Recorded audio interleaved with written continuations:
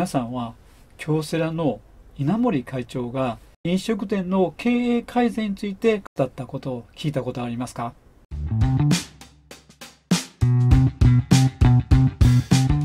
こんにちは。経営努力チャンネルの西村です。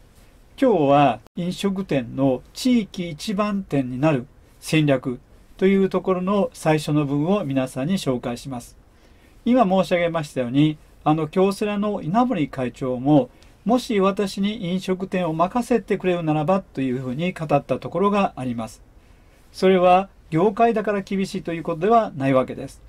ちなみに私は前回別の動画で飲食業界の厳しさについて紹介しました。1点はこのようなものです。まず飲食業は3年で7割が倒産するというそんな話でした。これは業界やコンサルの方がよく言ってることです。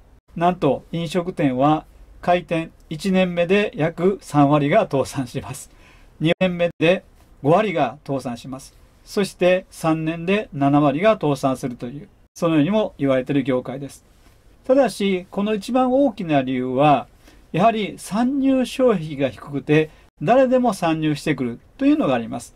だからもともとお店として成り立たない会社やお店が入ってくるということがありますので、それを差し引いて考えることも大事になってきます。その動画では、またその飲食業の不利な点について語った動画、概要欄にその URL を貼っております。そこでは、飲食業は不況に特に弱いということをデータを上げて申し上げています。一般的にこのような理由で不況に特に弱くなっています。一つは街のビジネスというところです。お客様が来るのを待っているビジネス。このようなビジネスのことを、これを街のビジネスと言います。それが次のように不利になってきます。まずは節約の対象になるというものです。やはり不況になると家庭も財布が厳しくなります。そうすると節約の対象で外でご飯を食べるのはやめようということにもなるわけです。また贅沢はやめようという話もよくあります。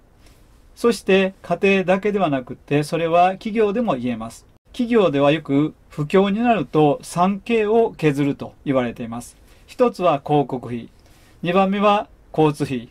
だから不況になるとタクシーのチケットを会社が出してくれなくなるということがあるわけです。そして3番目は交際費です。これはよくご理解いただけると思います。そのように節約の対象になりやすいわけです。だから不況の時に一番にその影響を受けます。そしてもう一つは先ほども少し申し上げたんですが、長所の裏返しというところになります。飲食業界は参入障壁が低いわけです。参入障壁が低いわけですから、誰でも入ってくるというところもあります。まあ、誰でもできるんです。まあ、誰でもっていうのは語弊があると思いますが、まあ、他の業界に比べると参入しやすいということにもなります。また、日銭が入ってくるということも参入しやすい理由になります。そこから言えることは、やはり収益性が低いということになります。一般的な他の企業で言いますと、1人当たりの経常利益が6万から8万出るところ、飲食業はだいたい、えー、と3万から4万、5万と言われています。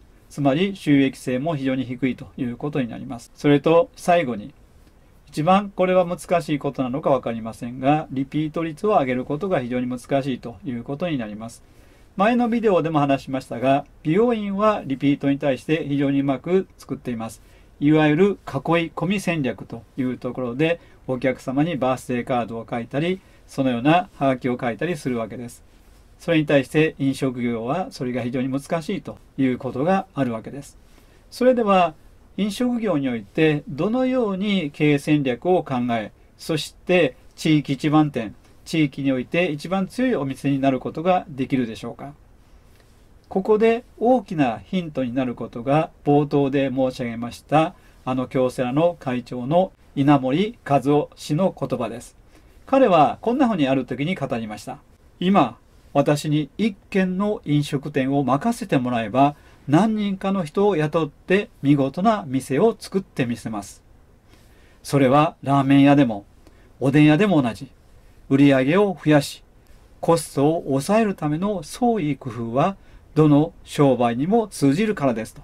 また彼が言ってる夜泣きそば理論は、これは経営において非常に大切な収益を最大に上げてそして経費を最初にするというそのような商売の原点でもあるというふうにおっしゃっていますまたランチェスター経営中小企業の大きな助けとなりますランチェスター経営の武田洋一はまず飲食店が売り上げを上げるための4つの戦略を言っていますこれはある意味では飲食店において売上アップに対しての打つ手ということになります。それが4つあります。しかし、その4つのものをする前にすることがあります。それは顧客対応です。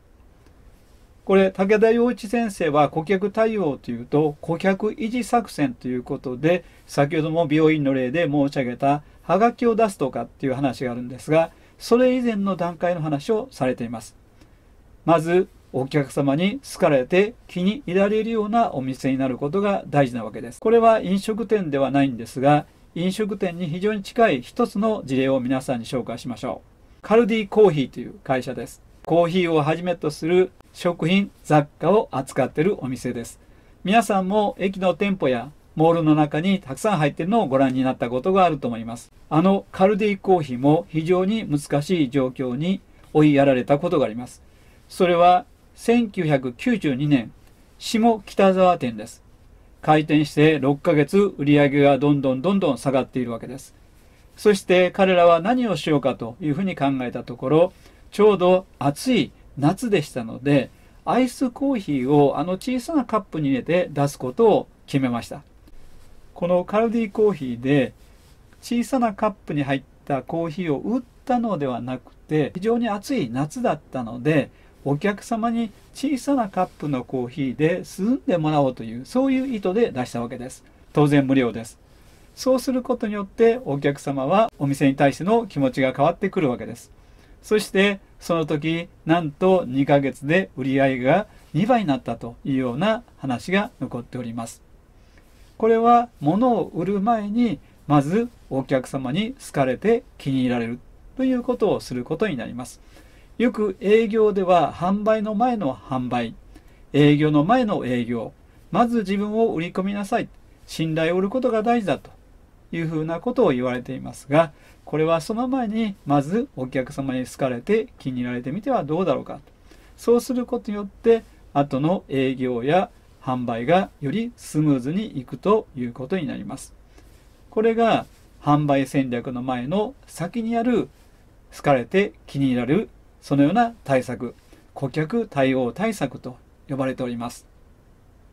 その後に、先ほど申し上げましたこの4つの販売の対策、別の言葉で言うと、売りの打つ手を打つならば、営業業績が変わってくる。つまり、売上が変わってくるということになってきます。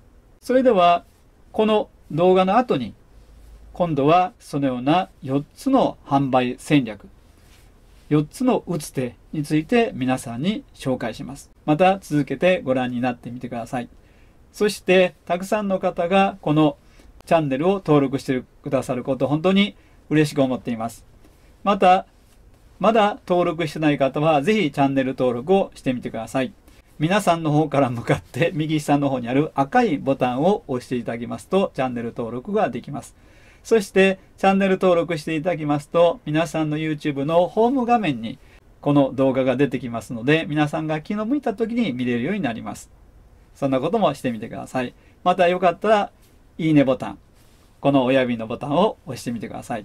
それでは今日も皆さんのご視聴心に感謝しております。そして皆さんのお仕事のますますのご健勝をお祈りしております。